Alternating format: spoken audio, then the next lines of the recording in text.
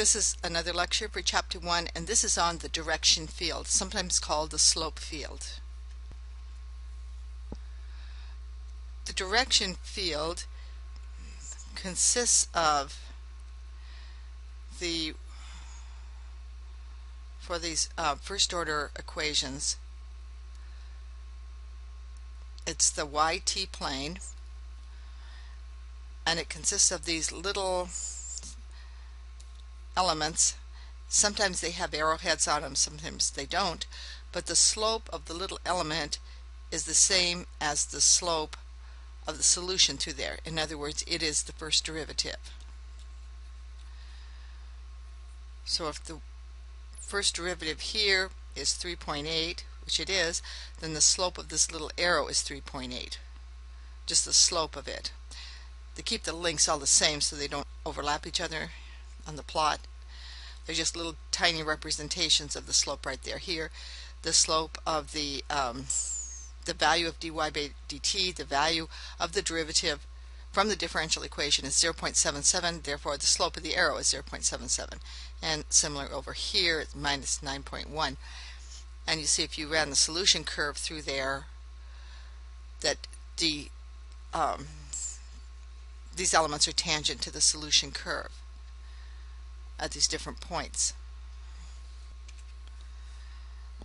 Of course, people like to make analogies about these um, curve. I like the one about the stream. So the little arrows give the current in the stream or current in the river and you take a stick and you put it in here and then the curve the stick is going to move along following the current in the river and the path that it traces out is a solution path.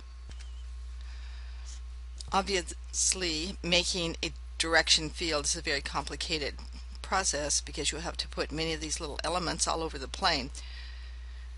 So there are computer programs to do this. However, the computer programs don't always do such a good job. And if you don't know what to look for, you can miss it.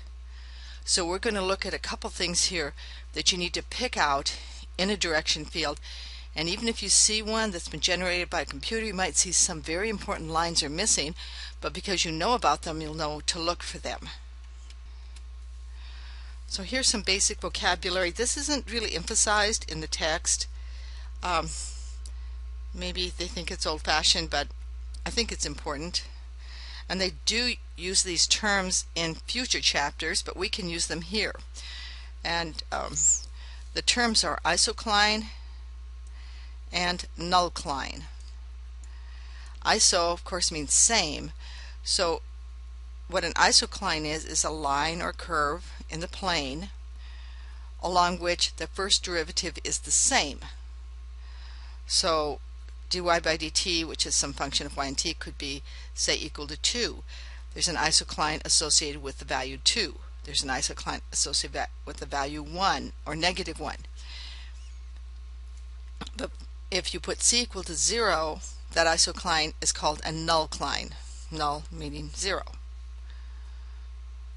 So isoclines are lines or curves in the plane along which the first derivative is the same. Right? But if that derivative happens to be 0, the isocline is also called a nullcline. In the previous chapters on uh, her lectures on um, various methods of solution, we made quite a distinction between homogeneous and non-homogeneous. For these direction fields, the big difference is between an autonomous differential equation and a non-autonomous one. There's a question also of linearity in it, but we're looking at autonomous versus non-autonomous right now. If you recall, an autonomous differential equation is one for which there is no explicit t dependence. So, for example, if we had dy by dt equals t squared plus y, that's non-autonomous because the t is sitting here by itself. So an autonomous one will not have a t dependence, it will just have y and some constants in the in the uh, this function f. So the function f is a function only of y and not of t. In this case, the isoclines are all horizontal lines. Now if there is no y dependence then the isoclines are all vertical lines. And if it's non-autonomous they can be all kinds of curves in the plane and that's a much more complicated situation. So we'll, we discuss these autonomous situations first and the non-autonomous second. Uh, first let's take a look at why for the autonomous situation the isoclines are all, all horizontal lines.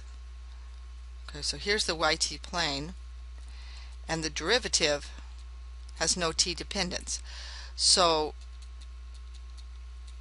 let's find the, um, shall we say, uh, we'll just start at t equals 0 and find the point where, so this will be a point in y, where the first derivative is say equal to uh, positive 1. Well, let's say it's right here at this value of y. Well, because there's no t dependence, at this value of y, it's also 1. At this value of y, it's also 1. Uh, at this value of y, it's also 1, and same over here. So if you drew a line through these, that would be your isocline for c equal 1. I didn't quite draw the line through there very well. c equal 1, you see it's a horizontal line. If you wanted the line where c equals 0, your nullcline, let's say your nullcline was when occurred when y equals 0. Okay, so it doesn't matter what the value of t is, as long as y is 0, the slope is going to be 0. So the nullcline, just like all the other isoclines, is a horizontal line, and that's for autonomous differential equations, no t dependence. If you had y dy by dt equals some function of time, you would get a rotation in that idea. So there's no change with y. So say if you wanted to know the value, we'll start with y equals 0 and we'll find the value of t such that this function equals some constant c, say 2. Say it happens here at t equal 2 or t equals 1, the slope is 2. So I get a slope that's kind of steep like this. It doesn't matter where you are in y, you're going to have the same slope and that's why that isocline is vertical. If it's 0, say it's 0 when t is minus 1. Well, then you can just keep moving in y, either direction, and as long as t stays, stays at minus 1, then you will um, have the same slope. So now your isoclines are vertical lines. And for the non-autonomous, of course, there's no, we can't even make any generalizations like this. Okay, now here's a big point that's important. Now for the nullclines, that's the locations where um, the slope is zero. So the slope equals some function, um, I'm sorry, some function of t and y in general, where that equals zero is the nullcline. We have some continuity here, and by continuity of the of the function I shouldn't said of the differential equation continuity of the of the solution y of t. Then the nullclines divide the x and the yt plane into regions of equal flow. And here's what that means.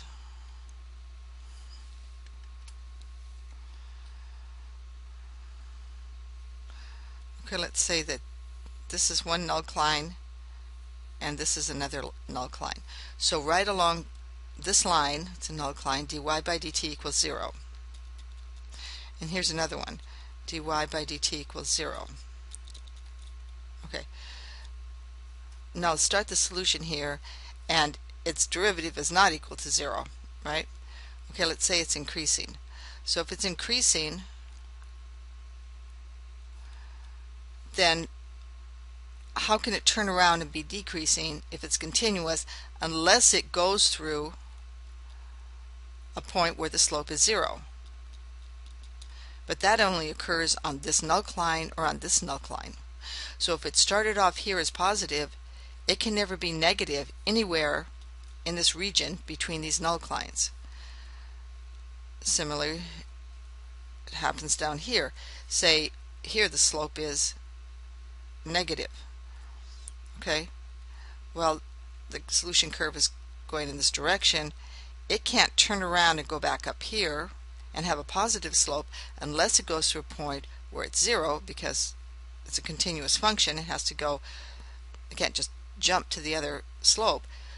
But that can't happen because all these are the only places, these two null lines are the places where that derivative is zero, so you won't have a derivative of zero out here. As a result, if the slope is negative at this point, it's negative everywhere. It might not be the same amount of negative, but it's all going to be negative. If the slopes are positive here, they're going to be positive. And same up here. I say they're negative up here, all the slopes up here are going to be negative. They might approach this equilibrium, which they're going to do either in what's called forward time or backward time, but they'll do it asymptotically. So the slopes will always be negative. And here the slopes will always be positive, even though they're approaching zero. For this autonomous differential equation, there's another important feature of these nullines. The nullines are solutions of the differential equation. In fact, they are the equilibrium solutions of the differential equations. Okay, now if you recall from um, the uniqueness theorems, it's satisfied, uniqueness is satisfied, a solution curve cannot cross another solution curve. So no solution curves cross these nullines for autonomous differential equations. So let's do an example. So here's a differential equation and it's autonomous. There is no t-dependence.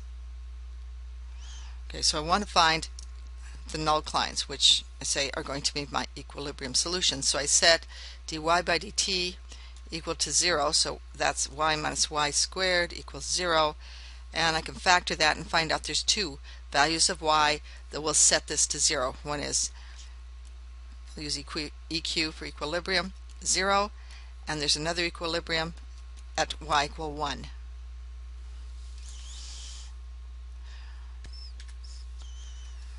So we can draw this piece of the differential equation ourselves. So if this is the yt plane and here's y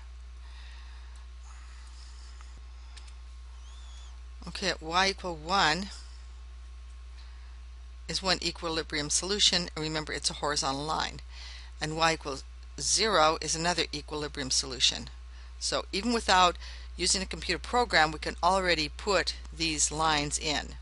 These are lines of slope 0 because these are nullines. But when you look at this, you see that it divides the, the y-axis into intervals. It can start at minus infinity and go to zero because that's the first nullline and between and zero to one is the region between the two nullines and one to positive infinity is the region above the upper nullline. Then if you look at the slope inside each of these these strips all you have to do is pick out one value of y put it in the equation and if that slope is negative they're all negative if it's positive, they're all positive because that's what it means by similar flow. So between 1 and infinity, put 2 into that equation and um, just for a number. So we have 2 minus 4 is minus 2. That's negative. They're all negative.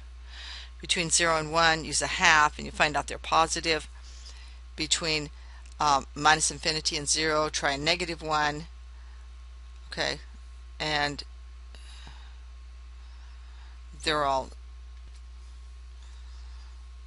so what we have here is we can just about sketch this whoops sorry. We can sketch this without even here's your y here's t. This is the y equals 0 nullline so here is the y equals 1 nullline and we know that above here the slopes are all downward. Slopes are upward here and the slopes are downward here. Now these curves are going to approach equilibrium in what's called either the for in forward time or in backward time. And I'll show you what that means. So here is the YT plane. And this is some of the computer generated uh, direction field but if you notice I had to draw in the equilibrium lines at y equal 1 and y equals 0 the computer program just due to the step size couldn't draw them in. It showed some little lines that were almost horizontal above it but kind of sloping up and here some sloping down but it never even put that line in. So that's why it's good to be able to pick those out yourself and definitely not rely on some direction field that's computer generated. Okay so here is say the starting point for a solution curve that's lying between y equal 1 and y equals 0 now the slopes here are all positive so even though they look like they're almost getting horizontal, they're not. It's an asymptotic approach. So as time goes in this direction, forward, time's going forward, positive time here, it's asymptotically approaching this equilibrium. When you look in the other direction, because it's between two equilibrium values, as it comes down here, it's going to be asymptotically approaching this other equilibrium. Somewhere in here, there's a point of inflection.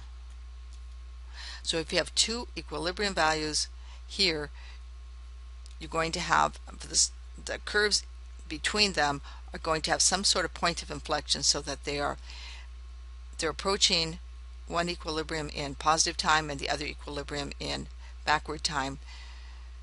If you had downward slopes, the curve would, you know, you'd be approaching in this direction. This, of course, is not applied to this case. So this, the curve in here, like I'm saying, what I'm trying to say is doesn't always have to go up. It could go down, but have the same idea of approaching each equilibrium asymptotically.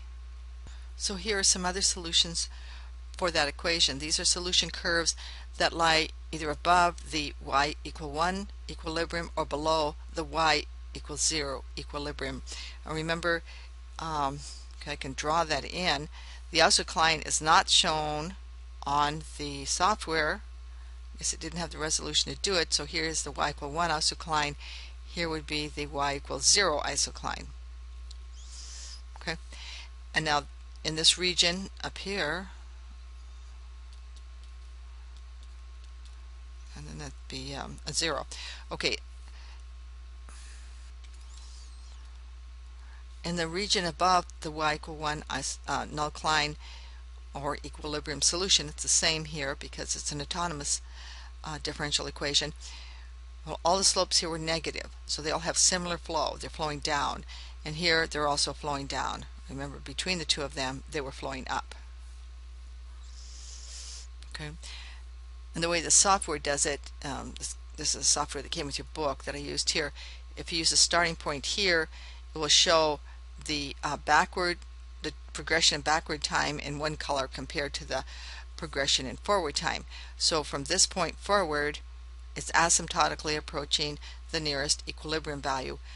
Because there's no other equilibrium value above it, it's just going towards infinity if you look in backward time. And similarly here, this is the starting point for this solution. Going forward, it's just heading towards negative infinity. But if you look in backward time, it appears to have been approaching in backward time to the other equilibrium value. Remember that for this equation, for this autonomous differential equation, autonomous meaning that dy by dt has no t dependence, it is just some function of y, that the isoclines or horizontal lines, the nullclines are horizontal lines, but also all the isoclines are horizontal lines. And you can see that here. Uh, Let's look at this slope. See the slope here? It's repeated at every value of t across here. So for your isocline, you would take some kind of a line and you connect those. See, this gives you an isocline. All along this isocline, the solution curves will cross that isocline with the same slope. It's a horizontal line. Of course, the isoclines and the tangents that are crossing them are not the same except at the nullcline in this case.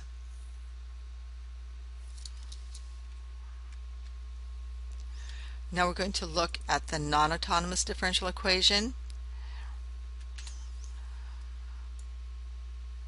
So that means there is possible explicit or there is explicit t dependence. Things are going to change with time. Right? For the autonomous case, all the isoclines, including all the nullclines, were horizontal lines. That's not the case here. Also for the autonomous case, all nullclines were solutions of the differential equations. So here's the autonomous case, the nullclines were also solutions. That's not necessarily the case for the non-autonomous differential equations. Now why is an isocline a solution or not a solution? For the isocline to be a solution, the derivative of the equation for the isocline must be the same as the value of the isocline. I'll give you an example here. So here's a non-autonomous differential equation. You can see right here you see that t dependence. So it's a function of t and y, comma y, is y minus t. Okay, so and now for review, let's look at this equation and say what kind of equation is it? It's first order because you only have the first derivative of y. Is it separable? No, it's not separable because remember to be separable, this is just a review from previous lectures, you had to have some function of y times some function of t. Well, that's not the case here. This is here's a function of y, here's a function of t, but they're subtracted, so that doesn't count. So it's not separable. Is it linear? Yeah, it's linear. You could write dy by dt minus y equals negative t. The derivative and the function are to the first order only. Is it homogeneous or non-homogeneous? It is non-homogeneous because it has what you might call a forcing function out here of minus t. That was just reviews just to kind of get those um, other categories in your mind. So now we'll go back to the problem at hand.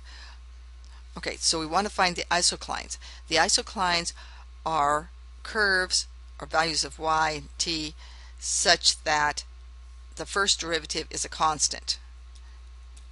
It can be any constant it wants. It only has to be 0 on a nullcline. Right. So if I set y, which is minus t equal to c, I can write an equation for it. Here's the equation for the isocline. y equals t plus c. So whatever c is, these are just, um, you can see these are just um, diagonal lines, but they're translated up by c for this particular equation. All right, now take the derivative of this equation and you'll get 1 because the derivative of t plus c is just 1 because c is a constant. So the only isocline that is also a solution is the isocline with c equal to 1. Then the derivative along the isocline is the same as the derivative from the differential equation. Okay, so that was just an example of how to find which isocline or isoclines are also solution curves. And the importance of that is that these another solution cannot cross a solution curve. It can cross an isocline as long as it's not a solution. Well, here's some the direction field and some null nullclines marked for this non-autonomous equation. So we have dy by dt equal to minus 2ty squared. Okay, so the isoclines are those for which this is equal to a constant. And we can write an equation for the isoclines that would be, because you're taking the square root, right? Plus or minus the square root of, there's going to be a negative sign over here, c over 2t. Of course, that's going to put some restrictions on the signs of c and t depending on the region that they're in, but we'll just leave it at that. So these are the equations. There is a nullcline here. If y equals 0, dy by dt equals 0. How about if t equals 0? If t equals 0, dy by dt is also 0. So there's two null nullclines right there, and they're marked here. But notice the equation here, if t is 0, well it's not you're not allowed to divide by zero but that would give you an infinite slope and you can see that the slope of the line here is infinite, it's vertical. So here are the two um, nullclines. Now, even though they aren't solution curves, whether they're solution curves or not, the null nullclines divide the plane into regions of, of similar flow. So in this region, it's just dividing it like it's the quadrants in the plane, all of these are positive, all these slopes here are negative, all these are positive, and these are negative. Now this is a solution curve as well as being a nullcline. This is not a solution curve. Right, solutions that start here with this positive slope cannot move down into this region because they cannot cross they cannot cross this um, the nullcline that is also a solution, the y equals 0 line. But they are able to cross this nullcline because it's not a solution. And how are they going to cross it? They have to cross it with zero slope because they have to cross with the same tangent um, as the null nullcline, or the isocline, I'm sorry. In this case, nullcline. And they can come down here like this. All right. So you see in some cases you can't get from one of these um, regions to the other and sometimes you can. But if the only way to get it is you have to cross a nullcline that is not a solution curve. and here are some of the solution curves so this one is um, sorry okay starting here this one can cross this nullcline this is y and this is t and this is one nullcline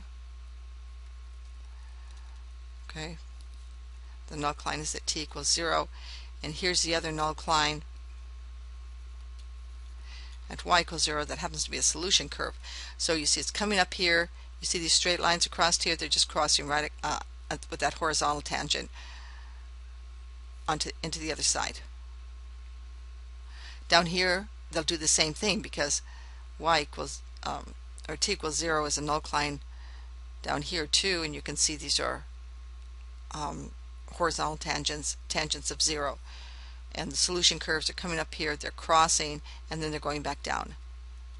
So this is a very different situation that we saw in the first case with the autonomous um, differential equation. So let's just review what we have here. We have um, a differential equation and we looked at two different types. Don't worry about the one with no y dependence. So you have no t dependence so it's autonomous and then you have one where there has there is t dependence and that's called non-autonomous and we can draw these direction fields with the computer all we want but we really need to pick out the null nullclines an isocline is a line along which the solution curves that cross it will have the same tangent now the ones that we pick out in particular with the null nullclines, so these are isoclines, they're equal to C. Okay, when C is equal to 0, it's also called a null nullcline. For the autonomous case, all the isoclines are horizontal lines. That includes the null nullclines. Also, the null nullclines are solutions. No other solution curve can cross that null nullcline. Right? And so when you put the null nullclines onto the plane, they're going to divide the plane up into strips, and in that strip, the um, the solution curve will have similar flow. That means if it's going up in one spot, it's going to be up going up throughout that region. If it's moving downward, so the slopes are negative, it'll be downward throughout that region. And that holds here for the autonomous case. For the non-autonomous case, you're also going to have nullclines. The example I showed, they had they were actually straight lines. One was horizontal and one was vertical. That isn't the case. The nullclines can be curved, right, through the plane. So for the non-autonomous, um, they can be much more complicated. If it's a solution curve, then the solutions can't cross it. If it isn't a solution curve, the curves will cross it, and they will cross it um, with their tangents being horizontal. But just like in the other case, the null nullclines divide the plane into regions of similar flow.